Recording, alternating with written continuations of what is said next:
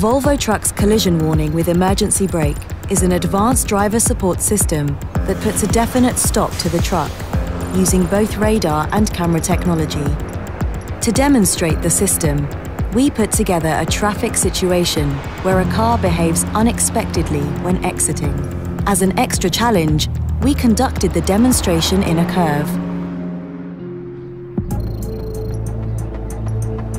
The radar and the high-placed centered camera reads the traffic situation constantly, even in a curve. The head-up display is lit up when the vehicle in front of the truck is too close. If an unexpected situation emerges, the system kicks in and puts a definite stop to the truck. Once the truck has stopped, the system checks if there is any reaction from the driver if no response from the driver, the parking brake is automatically applied. The collision warning with emergency brake demonstrates one of the industry's most advanced safety technologies. The vehicle takes control and brakes faster than any person.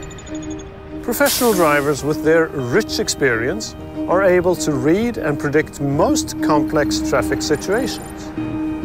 This is yet another step towards our vision of zero accidents.